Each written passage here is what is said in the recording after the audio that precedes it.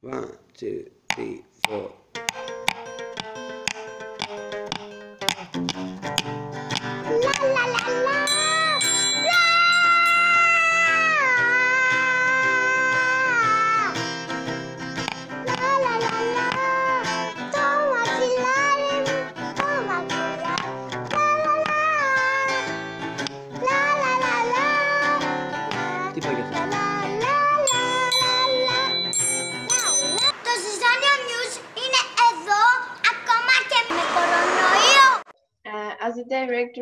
Thessaloniki Festival, which is the biggest uh, film festival in Greece at the time, uh, we would like to ask you what is your opinion about uh, the smaller regional festivals and what do you think is their usefulness? So, uh, you know, the festival's job is to create a link between the directors, between uh, the films and the audience. Um, so that's what we are doing in Thessaloniki. It's, it's called old audience building. Uh, and that's what cinemas are doing and festivals are doing. It's also promotion, of course, of films before they are going on the local market or the world market or even to the um, to broadcasting. It's also a meeting point for the um, professionals. So we are doing part of the job in Thessaloniki, but I think that everything should not be centralized. First, you have people who are living in different regions uh, who cannot come to Thessaloniki. Secondly, we are not specialized in children films. So I think that um, by being a bit more uh, specific about the topics, you can go deeper. We are a generalist film festival in Thessaloniki. We have a wide range of films from documentary, children film also, but um, films for grown-ups mostly. So we are, it's, let's say that we are the international, biggest international film festival, but you have other international film festivals which are uh, which are dedicated to some genre, animation, children films, uh, horror films, uh, which have a very targeted and specific audience, and they are doing the job. I mean, it's very important. Also, it's very important to cover uh, different territories. And I think that it's good that culture is going to Peloponnese, to a region where maybe uh, you don't have so many um, big international events. Okay, you have the Festival of Dance, you have a lot of things happening uh, in uh, near Olympia, but maybe not as much as uh, in a central big cosmopolitan city as Athens. So it's it's good also to decentralize uh, the, um, the culture uh, you also have Patras, who is doing a lot of things for culture, but it's it's it's very good that it's not everything in the same uh, place and dedicated to the same genre. And uh, Olympia Film Festival is uh, typically a very important international film festival dedicated to children films, and it's important for the industry and it's important for um, for the audience because you are the audience of tomorrow. Okay.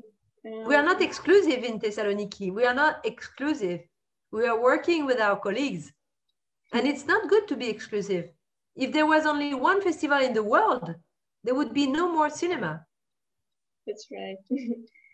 okay, and um, do you find it harder to judge a film by watching it at home uh, rather than watching it at your theater? yes. Yes, it's hard because you always have something that uh, is happening around you. I, I think that the best way to watch a film is to be in a dark environment and to watch it on a big screen. Uh, watching it on a small screen, first, you don't have the same quality of uh, screening.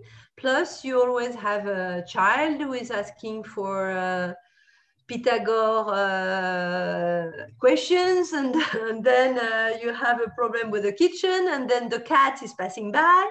Mhm. So it's it's very it's not that easy. Plus plus it's not a projection. That that means that the, the image is coming from the screen. It's not coming from a projector that is behind you. So it's not very good also for the eyes.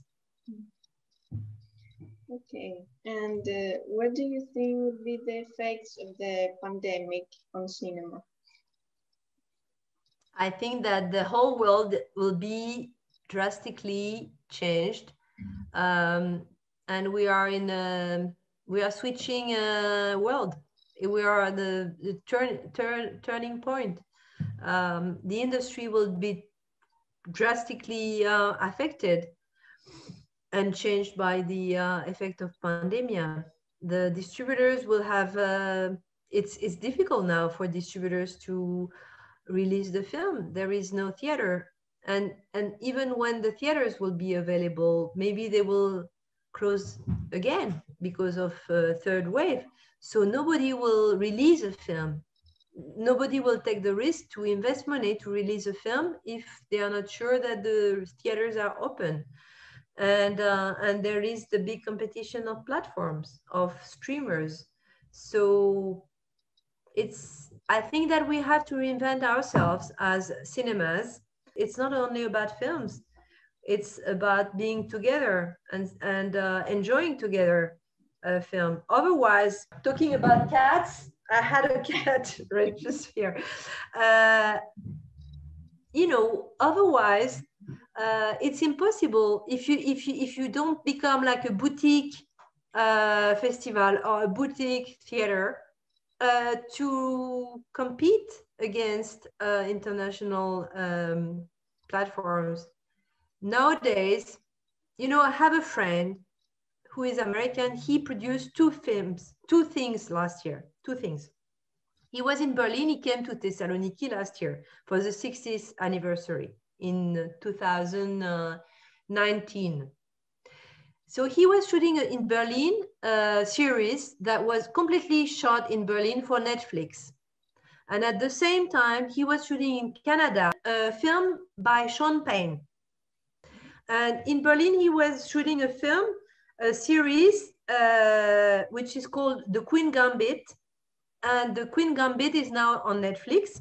And we were talking about all this, and everyone was like, okay, wow, Sean Penn, he's working on Sean Penn film. The result after one year is that Sean Penn film is waiting, I guess, for Cannes, and he will have a release in theaters, but maybe in the best case, 100,000 people will see it, or 2 million people will see it, or meanwhile, he finished this series as a producer, he's the main producer, and he cannot believe his eyes. He's waking up in the morning and Queen Gambit is everywhere, and he was not even expecting it. So you see, it's it's we are switching uh, dimension. The little series that nobody was paying attention last year has become a world phenomena that millions and millions of people have seen, and Sean Penn film was still waiting for it. So what I want to say is we don't know what's going to come next, but what we know is that um, it won't be the same. One last question. Uh, what do you think of, about this year's films in our festival, Olympia Film Festival? I Yeah. loved it. I loved it. Yeah, it was fun. Great. Not always fun because you have films which are not always fun, but actually I watched the I had to watch the short films which were very good. I mean, animation and um, live action. It was very difficult to choose a, a film to win and um, but we did it okay we did it we did the job and now i'm watching the long features okay. and I really enjoy it. I I, I love it. So I I think that the selection is very good. Great. Thank you very much. That's all we wanted to ask you. You're welcome. La la la,